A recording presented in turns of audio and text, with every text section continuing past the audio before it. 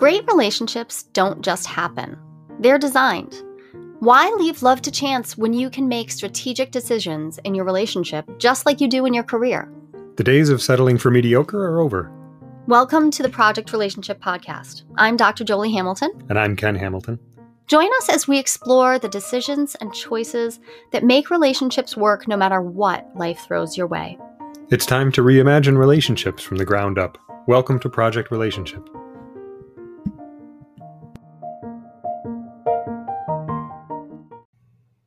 Hi, and welcome to the Project Relationship Podcast. I'm Dr. Joli Hamilton. And I'm Ken Hamilton. We are going to talk today about a particular catchphrase of mine, something that I say all the time. And at the same time, we're going to address a listener question because the two things are directly related. We're going to talk about what I mean when I say relationships can be your individuation accelerator.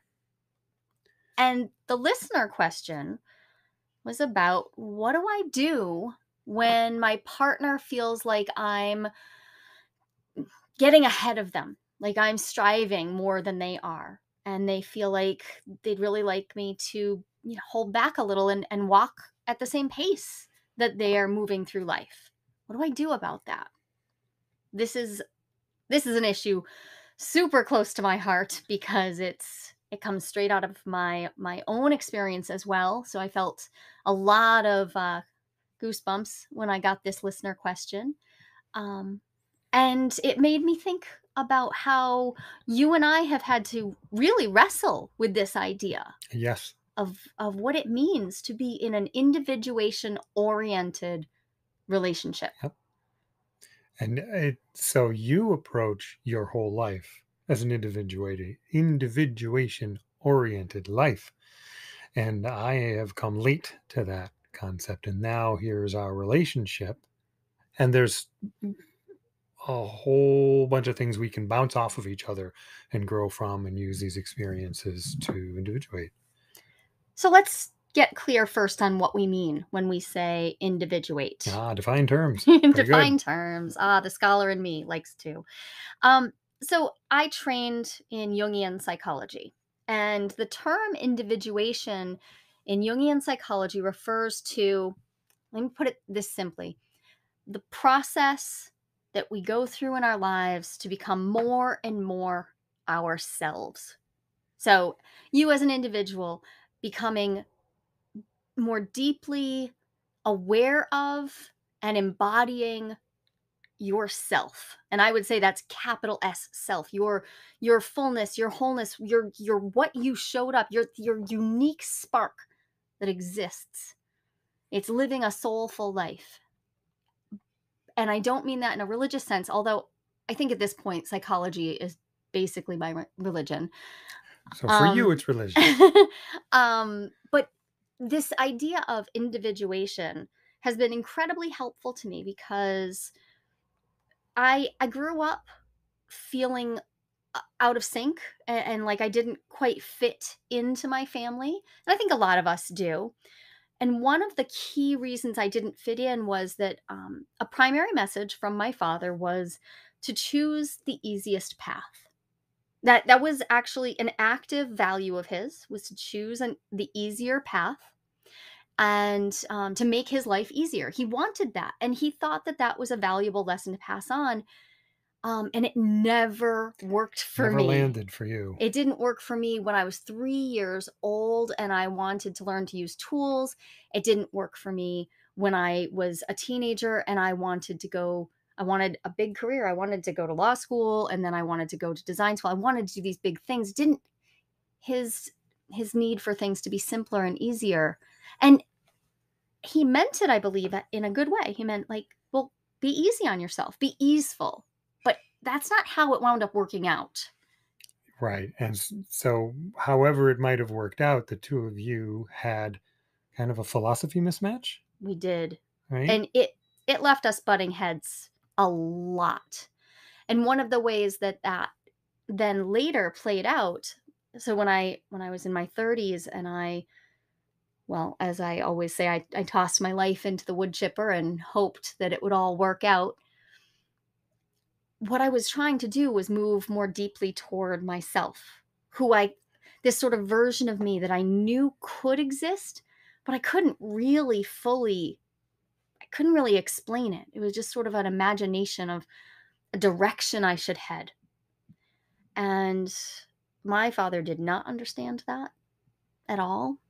Um, it was really challenging for him. His him. imagination didn't go there. It didn't. Yeah. My mom, on the other hand, had a different way of looking at things. Mhm. And I think this is the thing individuation is a way to uh, for me to understand my process but it's a way for all of us to understand what kind of path we're on i think that my father's path really was one of very slow incremental movement intentionally he used to say all the time that he was done at 17 it would never have occurred to me to say something like that and he was happy that way so I don't begrudge him that.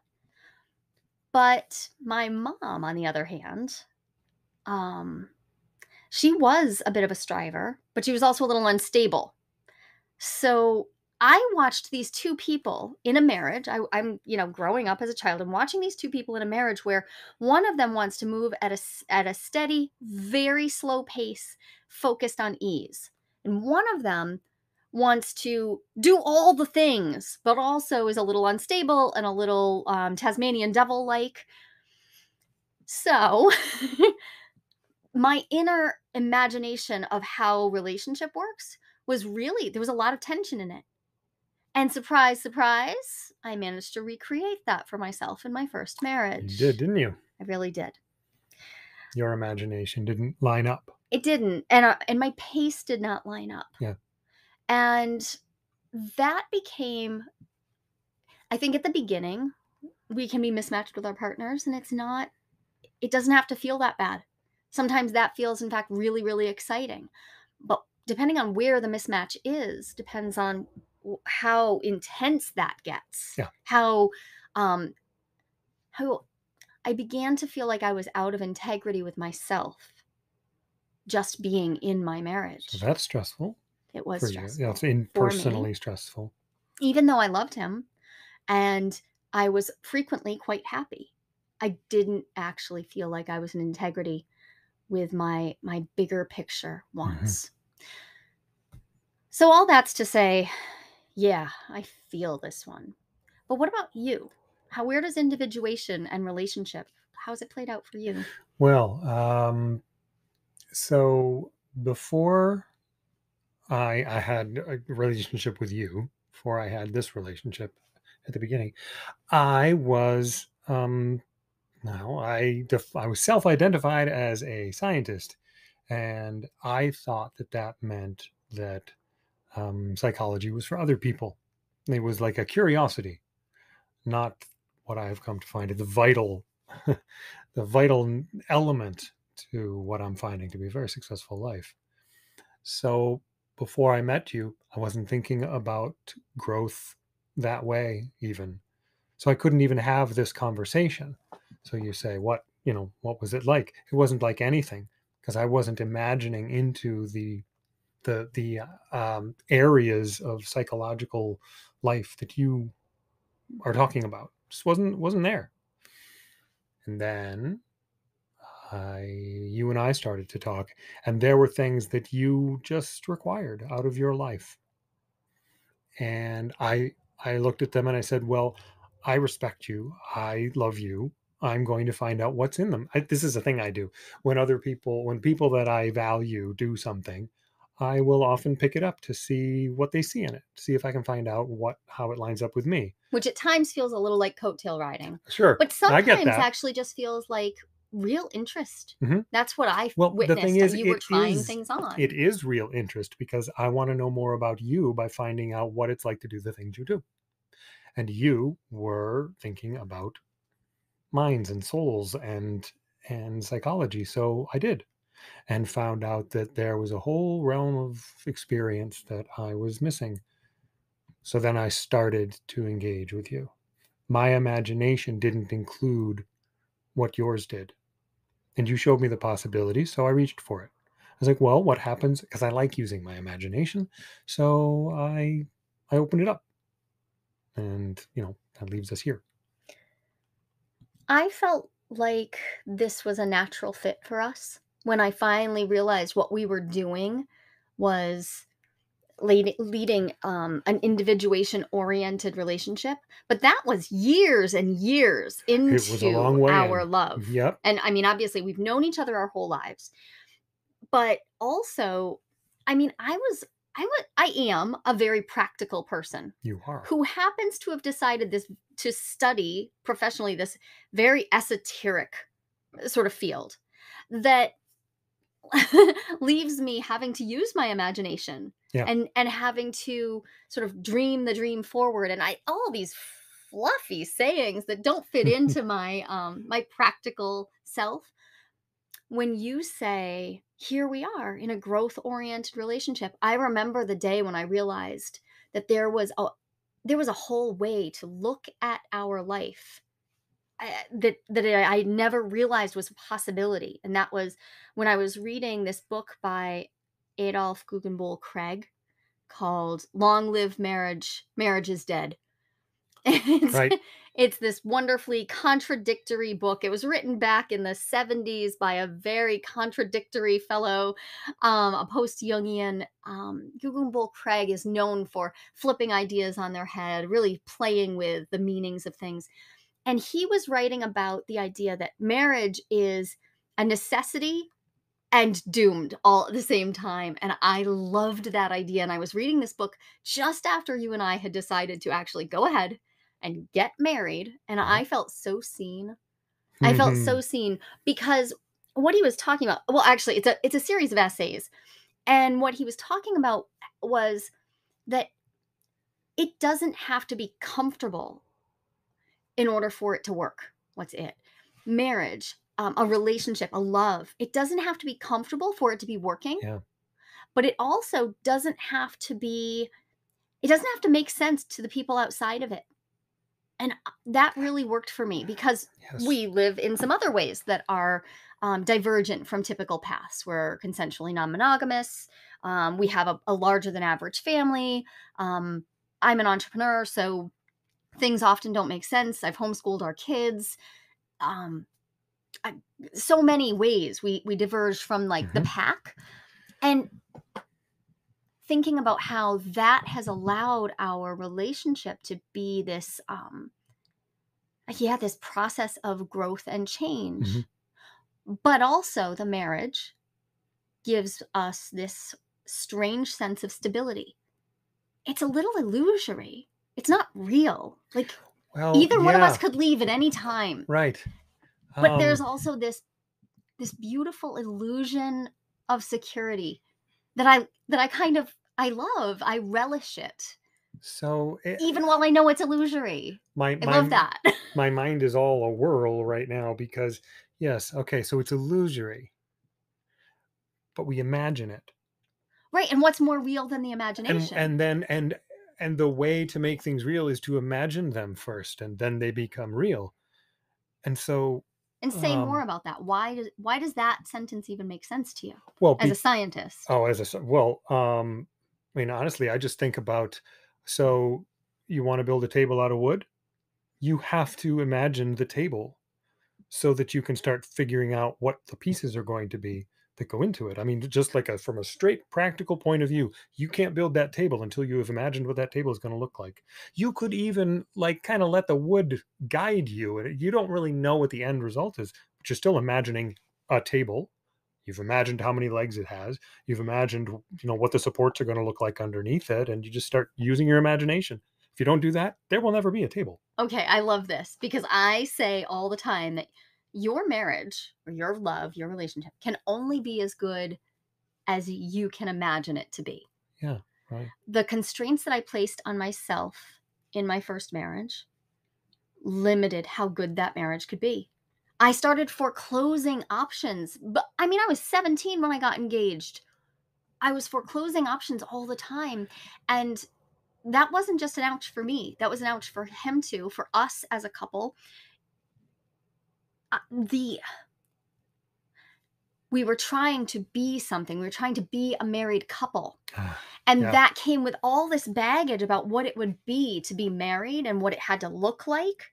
And that left us in a place where at yeah, I was 20 and he was 21 when we got married and um we painted a picture from that of what the possibility could be. Yeah. Now, I don't think we had to be doomed.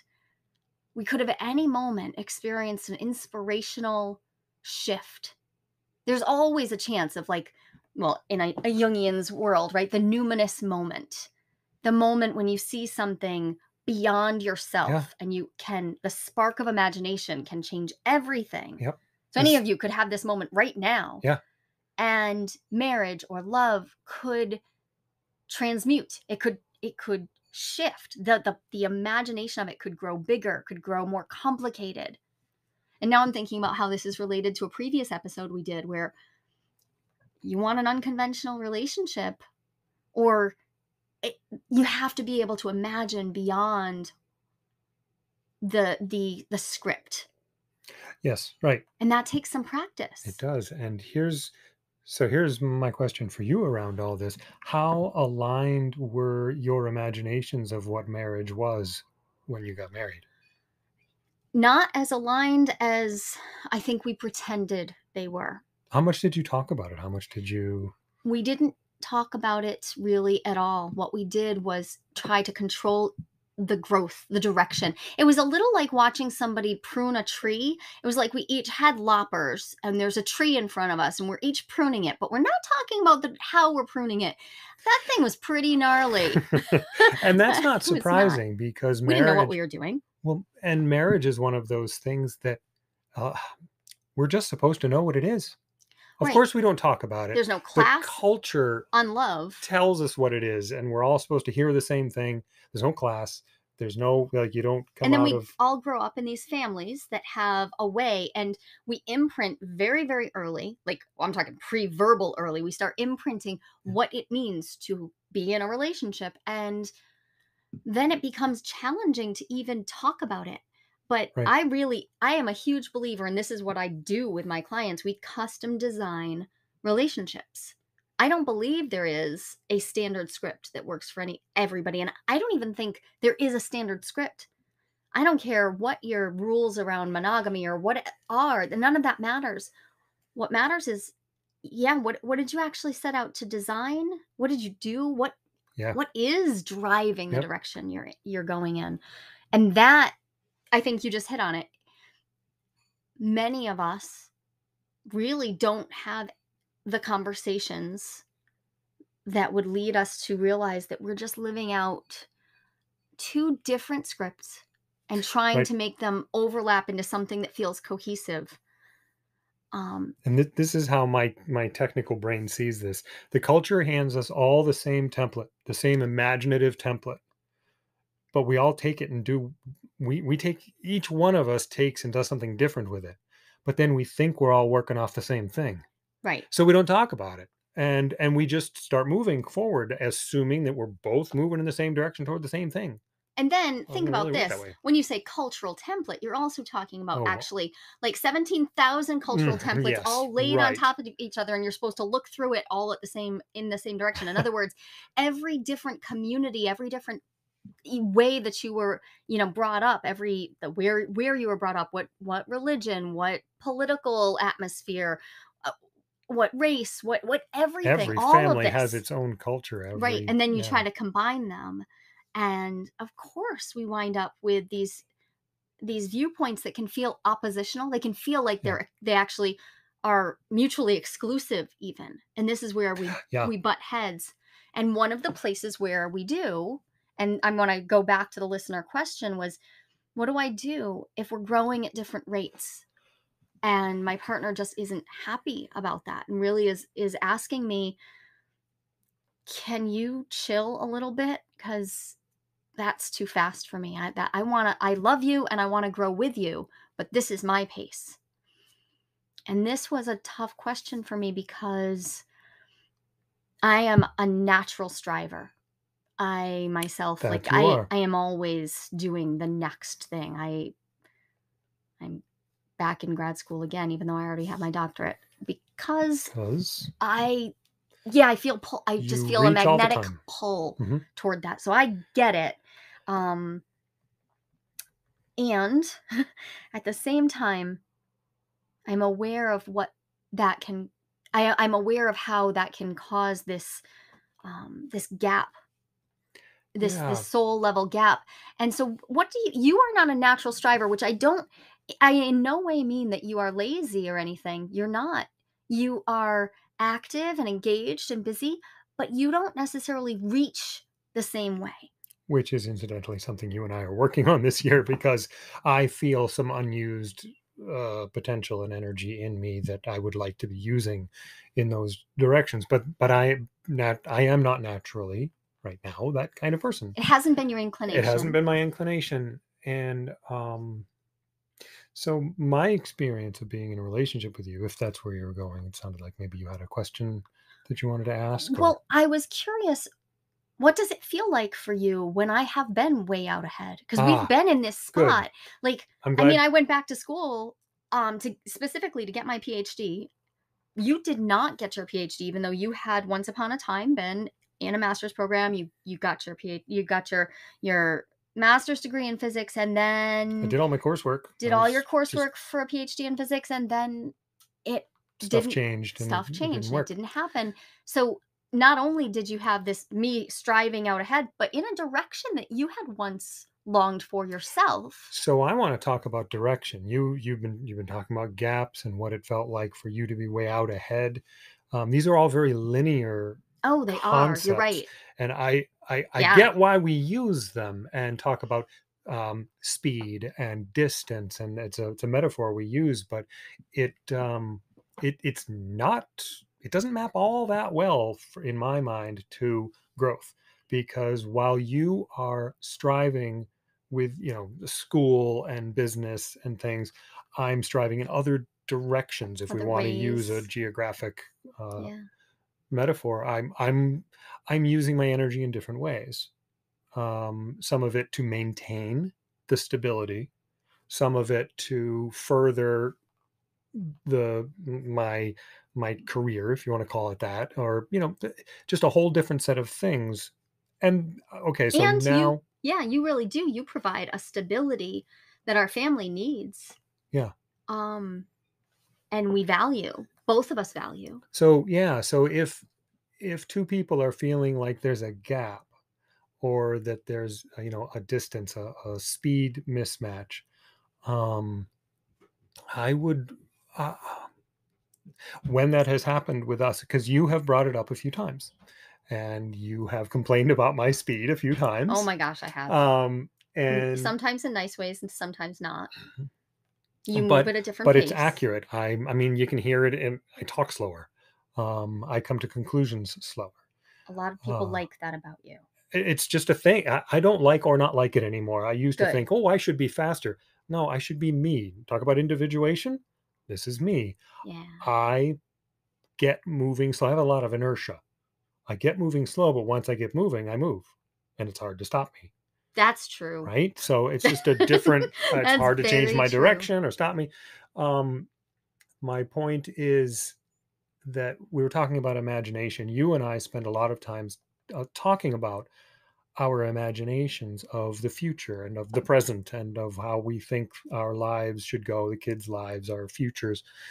Um and so our imaginations they don't line up 100% but we can see them as as- we try to make it as visible to the other person as possible. And so the the pace mismatch i i can look at your what you're doing and i can look at what i'm doing and uh, i can see how they fit together. Mm, i'm not trying to keep up with you. I'm not you. You are growing. I'm not growing in those ways i'm growing other ways sometimes maybe i'm not growing at all i don't know I don't um, think that's it's true. pretty complicated but it's pretty complicated. um Because you you can grow in depth as well. right i can grow in place Yeah. I don't have to move. I don't have to appear to have changed. My feelings about things might have changed in a way that I wanted them to change, but nobody else would see any difference. There's a lot of ways to grow. So we So- have a shared value of growth Yes. and we have talked about it. Yeah, it's foundational It's to our foundational. relationship. As Um, foundational as sex. So, I just um, slipped that right in there. oh, as foundational as sex. Yes, it is. Yep. Um, which is a pretty good individuation accelerator all by itself. Sex is. Another episode. That's a different episode. So, So- um, You just said something that I think is a really actionable step. When we have gotten off pace from each other and it's been notable, Mhm. that's been because there's been discomfort on one or both of our parts. Like, um, okay, we're each individuals and we're growing at different paces. There's te- like a tension. I'm imagining this sort of tension, this rope between the two of us, Mhm. right? So we're dancing and we're and we're you know pu- there's this rope pulled taut right as we and what if the pace gets so off that we we no longer are relating? What Yes, what if that's the what if the pace or the Mhm. direction of the dimension or the subject matter or whatever what if one of us moves off script in a way that no longer our imaginations like can't align in some important ways and that makes me think about a practice that we have that i, I kind of forget that we do um, but we talk about the what ifs what might happen there's a lot of time spent in our house really just sort of um, uh, brainstorming you know like sharing imaginations of what might happen Mhm. and that reminds me that even though you might not be moving at a pace you might have all these ideas and all these things you do want to do and it looks different on you Yeah. right and so we don't have to be um we don't have to be perfectly aligned. What we need to have are ways that we can come together like in in this sort of synchronicity that in this in this Yep. dance where we like we fit back together we move apart we fit together we move apart we it's a it's reminding me of syncopation in music like the, it gets Mhm. it doesn't Mhm. necessarily sound sometimes there are we're not on the same beat. We're Right. A little off. but something about it really works Yep. too like it really it feels good Couldn't have jazz without that. right like it just feels good Mm-hmm. and that that for me feels totally different from earlier relationships that i've been in where it has felt threatening to move off rhythm Yeah. or off pace Yep. and instead when um when you have been experiencing you know a slower or a or a less visible sort Mhm. of growth and i'm and i'm out wildly spinning and it's and it's just Yep. it's gotten out of hand Making changes. and then all of a sudden something will like sort of pop in your world and we're like whoa okay um focus back over here i'm gonna look at ken and pay attention to what's going on for him and all of a sudden wow like that changes my that wildness now quiets and stills a little bit in me and now Yeah. i have this opportunity to go into your world where there is a a depth and focus that is different i can appreciate it differently um, because i've had time to grow in my own way so i'm hearing in my own talk like there's a, a deep trust that we will that we will continue to find our our overlaps our rhythm together Yes. even though it's not at a predictable regulation pace it's not oh i'm going two to your one even it's not that it's no but i trust that we will continue to overlap in these important ways and we'll combine our imaginations in these Yeah. impo- important ways and most importantly we'll celebrate the way each other Yes. grow. it is eh, it is sometimes uncomfortable for me to watch you change in ways and know that I'm not changing in those ways and that discomfort fades when I remember I'm not you. Very important fact. And I say that and it might sound silly but I think but i think well, we do spe- forget about I it. spent I, spent a lot of our early relationship trying to be you. Yeah like I living in my be- system being- yeah, yeah we and- could call it any number of things Yep. codependence Yep. or, or oh, you know over coupling there's lots of things but I trust about that I can be me and still relate to you, and you can be you, and we can still swirl around each other. And when we come together, find the overlap between our two distinct Right. selves. And so we talk a lot about growth.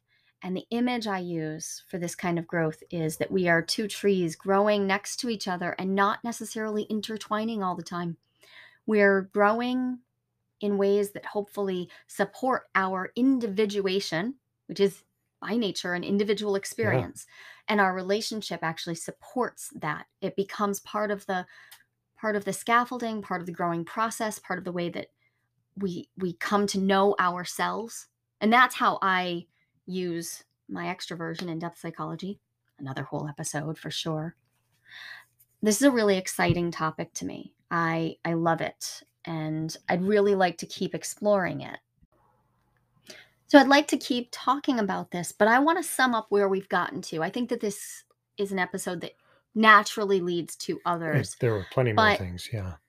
At the core, we're talking about relationships as an individuation accelerator because individuation is a way that you and I have found helps us remember that we are individuals who who genuinely want to support each other's growth. And at times that means there's going to be discomfort. And some of that discomfort comes from imagining into what might happen if we if we aren't together Mhm. there's the fear that can sneak in the anticipatory fear that can sneak in around the edges when we think what if what if this time we don't Yeah. we don't catch? What if the the rhythm doesn't catch again? I think that's the most precious stuff we've got. It's living at that edge of the fear just being aware of the fact that we can both feel security and stability and be at the edge of growth and aware of the fact that that security is is not a guarantee. Yeah. Secure isn't the same as guaranteed. That's right. It you can be stable and still uh, moving. It- Yeah. It's just how it is. Dynamic stability instead of static stability. So you've been saying a bunch of things that um you, uh, you know so we we we separate and we come back together and we and then we you know try to regain the rhythm and everything and sometimes it i i hear it like it, it's something that is sort of out of our control that it, it's either going to happen or not that's not actually true. Oh, that's a great point. we it's not that we come back and hope. We come back and we share and we talk and we we do things specifically to get that rhythm back. It's not a guarantee that we'll get it but we do everything we can No, so a thing that happens all the time. I mean, yes, not no. Sorry, habit. Yes. Um when I was in grad school, you did something for me that I never expected, not in a million years. I had no idea that this was going to happen. But going to Pacifica is like it is putting yourself in the the mix. Yes, the mix. yeah, you really are is. you're going to get psyche pounding away at you. Mhm. um you stayed with me through that process. Every quarter there would be two new classes all year long for three years straight. And that's before you get to dissertation. And what happened was every time all that material would work on me and i would be soaking in it. And you chose to explore those topics. So i'd be doing a class on dream work and you were like okay we're talking about dreams for the next 10 weeks constantly Yep. Why? Because that's what we're doing. And it's not that you let it take over your life, but you you just decided. I saw you decide to engage in my stuff with me. Not every second of every day, but you would see me writing a paper and you would ask to read it and Well- you'd show active interest and that Mhm. left us in a spot where every single quarter as I was deepening my experience, you were you were coming along with me and you deepened our our ability to talk about these topics, the growth process that I was going through.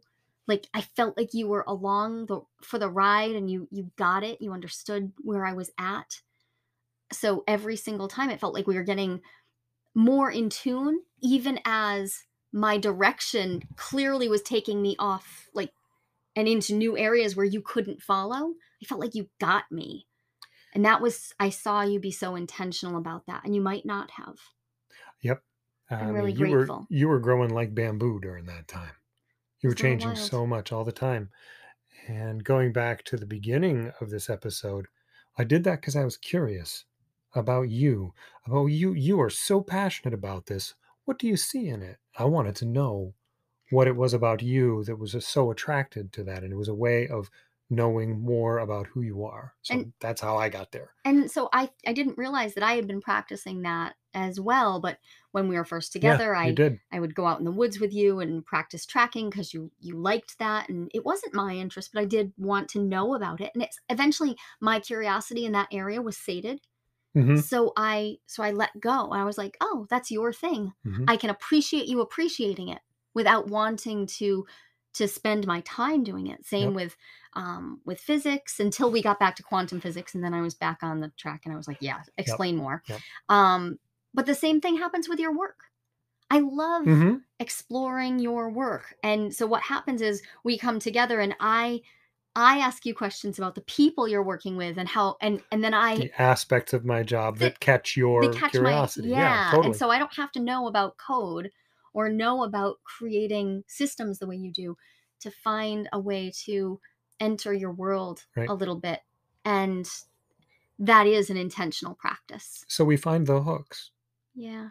we we I, I didn't know that but now, now i can see it we look for we don't just find them we look for the things that are i look for the things in you that uh, and what you're doing that i am curious about i don't pretend to be curious about something i find the things that i actually find interesting and pursue those and Yeah. you do the same thing with me and that allows us to stay connected in ways that it, on the surface they might not look connected And the other thing is, there is a level of trust that it's okay not to overlap. You know, there's a lot of variety in what relationships can look like. There are people who are perfectly happy with lives that look incredibly separate, but it really satisfies them that way. It just does. And so eh, I'll come back to what I said earlier. Your relationship can be what you imagine it to be. So if your relationship doesn't fit the script and it's the script that's pissing you off or Right. pissing your partner off, Yep. you could actually get on the same team about that. Like, wait a Yeah. minute, we don't like everything about that script. Yeah. And do something different, but do it together. talk you like you can you like decide what you don't like figure out together. to set down a particular Yeah. expectation that is is simply being put upon you and you don't actually each value it. Yeah. So this is where having those conversations about some core values that we share hmm versus the trappings of the stuff that goes along with the values. Cuz we we come back to our foundational values and our purpose for our relationship, which is individuation. Yep. Um growth over comfort. That is our core purpose. And then the trappings of that, yeah, grad school doesn't matter, writing books doesn't matter, finding a new career does none of that matters. We, what we could take this in any direction we wanted as long as we are aligned on that purpose Yeah. and it it works out. So I would say that the the other thing I would ask people to do is if this is an issue for you or even if it's not, I strongly recommend that you together create a purpose statement for your relationship. yeah Um, I cover this cool in my book, Project Relationship. There's a whole chapter on creating your purpose and an exercise to do. Um, you can grab Project Relationship, the entrepreneur's action plan for passionate, sustainable love, but it's not just for entrepreneurs. It'll be relevant if you care about developing a thoughtful relationship of any kind. Um, you can grab it on Amazon, and there is there's a section on this, finding your purpose. When you're aligned on your purpose, all the rest of it becomes easier. Yeah. Wow. I'm super, super grateful for you that we've been doing things this way. But mostly, I feel lucky that I stumbled into something that let us put oh, words to it it it's and that that- you've supported me in finding this path. i feel like life is so completely more full my my experience of my own life is so much more full than it could have been without the ideas and imagination that you went out and got and brought back Wow. Okay. I hope everybody out there goes and imagines up yeah an absolutely custom designed love. Yep. Whatever you want. Let's go for it. let's do it Talk to you next week.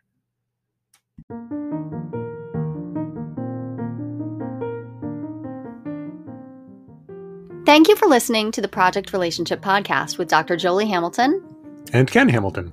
If you're enjoying our conversation, we would be so grateful if you would drop a rating and quick review so more people will be able to find us. And if you have questions or suggestions that you of things you'd like us to tackle, please send an email to joli at jolihamilton.com. I'd love to hear them.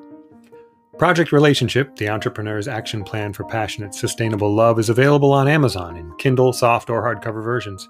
This book is a succinct, practical guide to improving your love life. I wrote Project Relationship to give you a set of quick action tools and conversation guides that can transform a mediocre relationship into a fabulous one. These tools are based not just on what Joli learned in her studies, but on what we actually do to make our relationship thrive. Until next time, remember relationships can be messy, and that's good news.